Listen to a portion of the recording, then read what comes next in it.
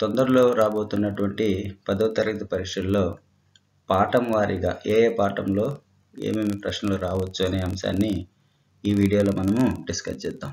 Tenth class bio సైన్స్లో మొత్తం పది పాఠాలు ఉన్నాయి పర్యావరణ విద్య కూడా ఉండేది.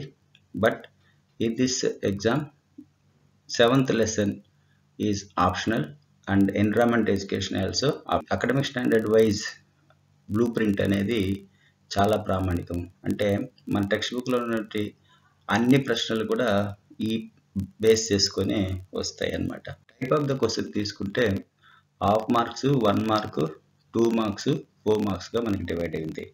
సో చాలామంది డిఫికల్ట్గా ఫీల్ అవుతున్నది హాఫ్ మార్క్ క్వశ్చన్స్ చాలా క్రిటికల్ అనాలిసిస్గా క్రిటికల్ థింకింగ్గా క్రియేటివ్గా ఉంటాయి. బట్ ఆన్సర్స్ మాత్రం చాలా సులభంగా ఆ క్వశ్చన్లోనే ఉండేలాగా క్వశ్చన్ పేపర్ సెక్టర్స్ దీన్ని తయారు చేయడం జరిగింది. సో మీరు అది చదవడం కష్టమేమో కానీ ఆన్సర్ రాయడం చాలా చాలా సులభం. ఒక ఎక్స్పాన్షన్ వస్తుంది. ఏటీపీ కానీ అంటే అబ్రివేషన్స్ కొన్ని వస్తాయి ఈ అబ్రివేషన్స్ని ఒక పదే పదిహేను ఉన్నాయి మన టెక్స్ట్ బుక్లో సో వీటినన్నిటిని మీరు నేర్చిపెట్టేసుకోవచ్చు. అదేవిధంగా find the mismatched ones mismatched అంటే ఉన్న మ్యాచింగ్లో ఒకటి మిస్ మ్యాచ్ అయి ఉంటుంది. సో అదేవిధంగా ఒక ఫ్లో చార్ట్ ఇచ్చి అందులో మిస్ అయింది ఏది అనేది మనం అడుగుతాం. తర్వాత వచ్చి ఒక అండర్లైన్ వర్డ్ ఒక సెంటెన్స్లో ఒక అండర్లైన్ వర్డ్ ఇచ్చి అది రాంగ్ ఉంటుంది. ఆ వర్డ్ మాత్రం ఆ వర్డ్ని మాత్రం మనం తీసి రాయాలి. మొత్తం మొత్తం సెంటెన్స్ని మీరు ఎటువంటి పరిస్థితుల్లోనూ రాయొద్దు. Don't write the complete sentence only you have to write the correct underline word only. ఒక సైంటిస్ట్ గురించి ఇందులో అడగడం జరుగుతుంది. సో టెక్స్ట్ బుక్లో దాదాపు ఒక ట్వంటీ మెంబర్స్ దాకా సైంటిస్ట్ ఉన్నారు. సో వాళ్ళందరినీ మీరు నేర్చుకోవచ్చు. సో ఈ వీడియో డిస్క్రిప్షన్ కింద నేను ఒక ఫ్రెండ్ తయారు చేసినటువంటి టోటల్ రెకనార్ లాంటిది బయోసైన్స్ రెకనార్ లాంటిది మీకు పెడతాను. అందులో దీనికి సంబంధించినటువంటి అన్ని ఆన్సర్స్ ఉంటాయి. మేము టు వన్ కాన్సెప్ట్ తీసుకున్నాం ఇక్కడ. జస్ట్ ఇది మోడల్ కోసం మాత్రం మీకు ఇవ్వడం జరిగింది. వన్ కాన్సెప్ట్లోనే దాదాపు టెన్ టైప్స్ ఆఫ్ క్వశ్చన్స్ అడగచ్చు. ఇవన్నీ కూడా ఏఎస్ వన్ కిందకి వస్తాయి. సో మీకు కంప్లీట్గా సెక్షన్ వన్ మొత్తం ఏఎస్ వన్ అంటే that means knowledge based questions కాబట్టి అక్కడ మీకు ఎలాంటి ట్విస్ట్లన్నీ ఉండవు. సో కేవలము కేవలము అండర్స్టాండింగ్ ఆధారంగా ఉన్నటువంటి క్వశ్చన్సే ఉంటాయి. సెక్షన్ వన్ టూ టైప్స్ ఉంటాయి. Autotrophic nutrition and heterotrophic nutrition autotrophic న్యూట్రిషన్లో పోటోసిస్ గురించి దాని డెఫినేషన్ ఫ్యాక్టర్స్ మెకానిజం ఎక్స్ప్లెయిన్ చేస్తారు. ఫోర్ ప్లస్ వన్ ఎక్స్పెరిమెంట్స్ ఉంటాయి. ఇందులో వన్ ప్రిస్ట్లీది కాబట్టి అది సైన్స్ హిస్టరీ బేస్డ్ అవుతుంది కాబట్టి అది ఎగ్జామ్కి రాదు. నెక్స్ట్ లైట్ స్క్రీన్ కూడా ఇంపార్టెంట్ కాదు. మీరు చదువుకోవాల్సింది is half leaf experiment and hydrilla experiment starch test ఈ మూడు మీరు కంప్లీట్గా నేర్చుకొని ఉండాలి. చాలా చాలా ఇంపార్టెంట్ అయినటువంటి క్వశ్చన్స్ ఈ మూడు. సో ఈ మూడు నేర్చుకుంటే కంపల్సరీగా మీ దగ్గర ఒక ఫోర్ మార్క్స్ వస్తాయి. తర్వాత ఈ మూడు టు హైడ్రోటోపిక్ న్యూట్రిషన్లో విటమిన్స్ తర్వాత మాల్ న్యూట్రిషన్ కంపల్సరీగా అడిగేటువంటి క్వశ్చన్స్. కంపల్సరీ అంటే విటమిన్స్లో విటమిన్ కేటగరైజ్ చేయమని చెప్పడం విటమిన్ డిఫిషియన్సీ డిసీజెస్ చెప్పడం ఇలాంటివి. తర్వాత మాల్ న్యూట్రిషన్ టైప్స్ అవి అడగడం తర్వాత కస్క్యూటా ఉంది. కస్క్యూటాలో one or two question one mark two marks questions వచ్చే అవకాశం ఉంది. So first lesson is very very important. Nearly ten marks దాకా ఫస్ట్ లెసన్ నుంచి వచ్చే అవకాశం ఉంటుంది. ఎందుకంటే మనకు మ్యాచింగ్తో కలిపితే సెవెంటీ మార్క్స్కి ఉంటాయి. అంటే ఫోర్ మార్క్స్కి మనకు ఆప్షన్ ఉంది కాబట్టి కంప్లీట్గా ఫిఫ్టీ ప్లస్ ట్వంటీ సెవెంటీ మార్క్స్కి మనకి క్వశ్చన్ పేపర్ ఉంటుంది. సో అలా తీసుకుంటే దీనికి first priority question paper setters ఎవరైనా కూడా ఇస్తారు. నెక్స్ట్ మూవ్ టు రెస్పిరేషన్ రెస్పిరేషన్లో కూడా ఎక్స్పెరిమెంట్స్ ఉన్నాయి. ఈ ఎక్స్పెరిమెంట్ ఈ రెండు పాఠాలను చాలా ఇంపార్టెంట్ సెవెంత్ లెసన్ ఉండేది మనకి అందులో ఎక్స్పెరిమెంట్స్ ఉండేది ఇంతకుముందు. So now the seventh lesson is not in the syllabus కాబట్టి సెవెంత్ లెసన్ నుంచి ఎక్స్పెరిమెంట్ రాదు కాబట్టి ఫస్ట్ వన్ అండ్ టూ లెసన్స్లోనే కంపల్సరీగా వాళ్ళు ఎక్స్పెరిమెంట్కి సంబంధించిన క్వశ్చన్ ఇవ్వాల్సి ఉంటుంది. ఇందులో కూడా త్రీ ఫోర్ ఫోర్ ఎక్స్పెరిమెంట్స్ ఉన్నాయి. అందులో ఈస్ట్ది ఇంపార్టెంట్ కాదు. తర్వాత కంబషన్ ఆఫ్ షుగర్ కాదు. తర్వాత రెండు మాత్రం చాలా important evolved CO two and heat in respiration అనేది. ఇది ఇంతకుముందే నేను చెప్పాను. ఇది ఫోర్ టైమ్స్ వచ్చింది ఇప్పుడు ఈ క్వశ్చన్ ఇప్పటివరకు పబ్లిక్ ఎగ్జామ్స్లో ఫోర్ టైమ్స్ వచ్చాయి. సో అది కూడా మీరు క్యాలిక్యులేషన్ వేసుకోవాలి. తర్వాత మైటోకాండ్రియా స్ట్రక్చర్. ఫస్ట్ లెసన్లో అయితే క్లోరోప్లాస్ట్ స్ట్రక్చర్ ఎలాగ ఇంపార్టెంటో ఇక్కడ కూడా మైటోకాండ్రియా స్ట్రక్చర్ అనేది ఇంపార్టెంట్. తర్వాత దీంట్లో ఒక ఫ్లో చార్ట్ ఉంది. ఏ పాసేజ్ ఆఫ్ ఎయిర్ అనేది. సో ఒక ఫ్లో చార్ట్ చాలా ఇంపార్టెంట్ దీంట్లో. సో అది ఒకటి మీరు చూసుకుంటే బాగుంటుంది. Then you move to third lesson so transportation so ట్రాన్స్పోర్టేషన్లో మనకి బాగా ఇంపార్టెంట్ క్వశ్చన్ అని మనకు అనిపించేది ఏంటి అంటే arteries veins and blood capillaries గురించి డయాగ్రామ్ టూ మార్క్స్కి అలా అడిగే అవకాశం ఉంటుంది. తర్వాత సింగిల్ అండ్ డబుల్ సర్క్యులేషన్ గురించి డయాగ్రామ్ ఇచ్చి రాయమని చెప్పొచ్చు. తర్వాత బ్లడ్ ప్రెషర్ చాలా ఇంపార్టెంట్ క్వశ్చన్ దీంట్లో ఏంటంటే బ్లడ్ ప్రెషర్ గురించి అండ్ బ్లడ్ క్లాటింగ్ గురించి కోయాగులేషన్ ఆఫ్ బ్లడ్ గురించి రెండింటి గురించి కూడా మనకి తప్పకుండా అడిగే అవకాశం ఉంటుంది. సో తర్వాత మనకి experiment seven marks or eight marks కాబట్టి టూ మార్క్స్లో ఒకటి అడుగుతారు కాబట్టి దీంట్లో చాలా వరకు ఈ మ్యాస్టిక్ స్టెథస్కోప్ కానీ రూట్ ప్రెషర్ ఎక్స్పెరిమెంట్ కానీ టూ మార్క్స్ కూడా వచ్చే అవకాశం ఉంటుంది కాబట్టి దీంట్లో మీరు తప్పకుండా చూసుకోవాల్సింది blood pressure and coagulation of blood arteries veins అంటే blood vessels then heart diagram కూడా చాలా వరకు అడగట్లేదు అది. వాళ్ళే డయాగ్రామ్ ఇచ్చి మిమ్మల్ని పార్ట్స్ ఏమైనా గుర్తించమని చెప్పి అడగచ్చు. అది కూడా ఒకసారి మీరు చెక్ చేసుకోండి. దెన్ మూవ్ ఎక్స్క్రియేషన్ సో ఎక్స్క్రియేషన్లో చాలా ఇంపార్టెంట్ క్వశ్చన్స్ ఉన్నాయి దీంట్లో. అందులో ముఖ్యమైనది కిడ్నీ డయాగ్రాము అంటే ఎక్స్క్రియేటరీ హ్యూమన్ బీయింగ్స్లో ఎక్స్క్రియేటరీ సిస్టమ్ కంప్లీట్ డయాగ్రామ్ ఒకటి కిడ్నీ ఇంటర్నల్ స్ట్రక్చర్ డయాగ్రామ్ ఒకటి నెఫ్రాన్ డయాగ్రామ్ ఒకటి.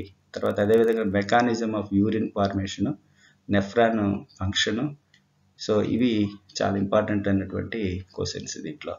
సెకండరీ మెటబాలటైటిస్ అనేది చాలా చాలా ఇంపార్టెంట్. ఆల్క్లైడ్స్ టానిన్స్ దాన్ని ఏఎస్ ఫోర్ కింద కానీ ఏఎస్ వన్ కింద కానీ ఎలాగంటే కూడా అలా అడిగే అవకాశం ఉంటుంది కాబట్టి అంటే టేబుల్ ఇచ్చి అడగవచ్చు కాబట్టి ఈ రెండు మీరు తప్పకుండా చూసుకోవాలి.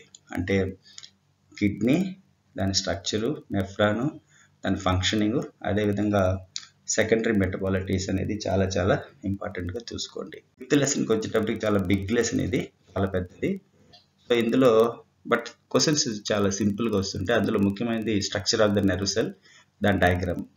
అదేవిధంగా హ్యూమన్ బ్రెయిన్ స్ట్రక్చర్ కంటే దాని యొక్క ఫంక్షన్స్ అడుగుతారు చాలా వరకే. తర్వాత వచ్చి హార్మోన్స్ ముఖ్యమైనది. అంటే ఇంకా బ్రెయిన్ గురించి బ్రెయిన్ డయాగ్రామ్ కూడా చాలా వరకు అడగట్లేదు. బట్ కెమికల్ కోఆర్డినేషన్కి సంబంధించి ఈ హార్మోన్స్ చాలా చాలా ఇంపార్టెంట్ అండి. హార్మోన్స్ డయాగ్రామ్ వేయమని చెప్పడం హార్మోన్స్ ఫంక్షన్ రాయడము లేదా హార్మోన్ టేబుల్ ఇచ్చి దాంట్లో నుంచి క్వశ్చన్స్ ఎక్స్ట్రాక్ట్ చేయడము. అదేవిధంగా phytohormones both are very very important. And another important వచ్చి ఇందులో నాస్టిక్ మూమెంట్స్. అందులో ఈ మూడు చాలా important. Hormones phytohormones nastic movements. That is tropic movements tropic and nastic movements అనేది చాలా చాలా ఇంపార్టెంట్ ఇందులో. ఇది కంపల్సరీగా మీరు చూసుకోవాల్సి ఉంది. సిక్స్త్ లెసన్కి వద్దాం రిప్రొడక్షన్ కూడా చాలా పెద్ద లెసన్ నియర్లీ టెన్ మార్క్స్ దీనికి మోస్ట్లీ కేటాయించి ఉంటారని నేను అనుకుంటున్నాను. సో ఇందులో చాలా ఇంపార్టెంట్ సెక్సువల్ అసెక్సువల్ రిప్రొడక్షన్కి డిఫరెన్సెస్ తర్వాత వెజిటేటివ్ ప్రాపగేషన్ వెజిటేటివ్ సంబంధించి న్యాచురల్ ఆర్టిఫిషియల్ కటింగ్ వాటి గురించి ఉంటుంది. తర్వాత ఇందులో ఎక్స్ ఎక్స్పెరిమెంట్కి సంబంధించి ఒక క్వశ్చన్ ఉంది స్పోర్ట్స్ ఫార్మేషన్ ఇన్ రైజోపస్ అనేది మనము బ్రెడ్ మోల్డ్ ద్వారా చేస్తాము. ఆ ఎక్స్పెరిమెంట్ వచ్చి అడిగే అవకాశం ఉంటుంది. తర్వాత ఫ్లవర్ డయాగ్రాము చాలా ఇంపార్టెంట్ అంటే ఒకటి బాటనీలో ఒకటి జువాలజీలో కనుక వాళ్ళు అడగాలనిపిస్తే అందులో తప్పకుండా గుర్తొచ్చేది ఫ్లవర్ డయాగ్రాము ఇందులోనే మరొకటి male female reproductive systems sperm cell ఇవి తప్పకుండా అడిగేటువంటి డయాగ్రామ్స్ ఎయిత్కి సంబంధించి వస్తే మెయిన్గా వచ్చి మెండల్ థీరీస్ మెండల్లో మోనో హైబ్రిడ్ క్రాస్ గురించి అడిగే అవకాశం ఉంటుంది.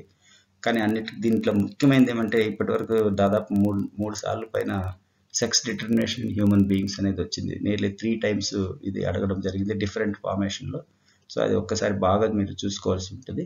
తర్వాత ఎవల్యూషన్ థియరీకి సంబంధించి డార్వినిజం చాలా ఇంపార్టెంట్ దాన్ని చూసుకోవాలి. అదేవిధంగా హోమోలోగస్ అండ్ ఎనలోగస్ ఆర్గాన్స్ గురించి ఎవిడెన్సెస్ కూడా కొన్ని అడిగే అవకాశం ఉంది next move to our environment our concern దీనికి సంబంధించి వస్తే food web food web food chain రెండు ఉన్నాయి.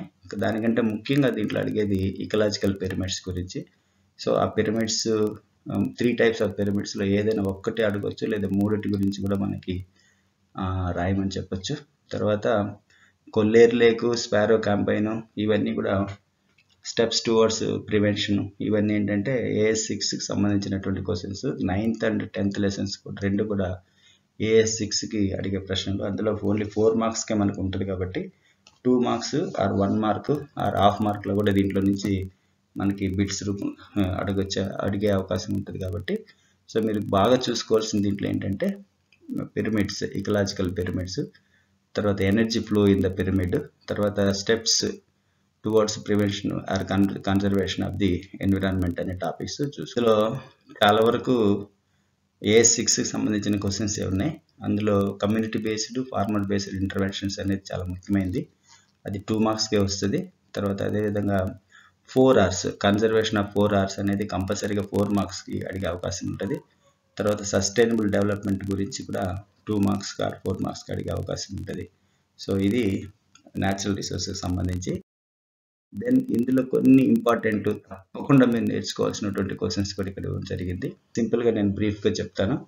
టోటల్గా మన క్వశ్చన్ పేపర్ సెవెంటీ మార్క్స్ ఉంటుంది. మన యాభై మార్క్స్ మాత్రమే ఆన్సర్ చేస్తాము. ఫిఫ్టీ మార్క్స్ తెచ్చుకోవడం అనేది ఫిఫ్టీ ఫిఫ్టీ తెచ్చుకోవడం అనేది చాలా సులభం. ఎందుకంటే మీరు ఖచ్చితంగా ప్లాన్ ప్రకారం కనుక చదివితే టెక్స్ట్ బుక్లో ఉన్నటువంటి టెక్స్ట్ బుక్ని బాగా చదివితే అవుట్ ఆఫ్ అవుట్ తెచ్చుకోవచ్చు. ఇందులో ముఖ్యమైనది ఏమంటే ఇక్కడ ఉన్నటువంటి క్వశ్చన్స్ కంపల్సరీగా మనకి తెలిసి ఉండడం అనేది ఇంపార్టెంట్. తర్వాత డ్రాయింగ్ కొంచెం బాగా ప్రాక్టీస్ చేయండి. తర్వాత పాయింట్ వైజ్ రాయడానికి ప్రయత్నం చేయండి. డ్రాయింగ్ వేసేటప్పుడు తప్పకుండా కలర్ చాక్ పీసెస్ అంటే sorry that means colour pens కూడా మీరు వాడవచ్చు. దాంట్లో ఎవరు మీకు ఎలాంటి ప్రాబ్లం రాదు. మెయిన్గా డ్రాయింగ్ కంటే డ్రాయింగ్ స్కిల్ కంటే డ్రాయింగ్ తర్వాత పార్ట్స్ అంటే త్రీ మార్క్స్ వచ్చి డ్రాయింగ్ ఉంటుంది వన్ మార్క్స్ వచ్చి పార్ట్స్ ఉంటాయి. మీరు పార్ట్స్ గుర్తించకపోతే ఆ వన్ మార్క్ రాదు. అలా మీరు ప్లాన్ చేసుకోవాలి. తర్వాత అదేవిధంగా ఎక్స్పెరిమెంట్స్ తర్వాత విధంగా tables that means information skills సంబంధించి అవన్నీ కూడా మీరు చక్కగా చూసుకోవాలి. ఇందులో నైన్త్ అండ్ టెన్త్ లెసన్స్లో రెండు మార్కుల క్వశ్చన్స్ ఎక్కువ వచ్చే అవకాశం ఉంటుంది. అది మీరు గుర్తుపెట్టుకోండి. మిగిలిన అన్నింటిలో కూడా ఒక్కొక్క ఎస్ఏ క్వశ్చన్ వచ్చే అవకాశము ఈ వీడియో మీకు నచ్చినట్టయితే తప్పకుండా ఇతరులకు షేర్ చేస్తారని కోరుకుంటున్నాను. All the best your coming exam thank you very much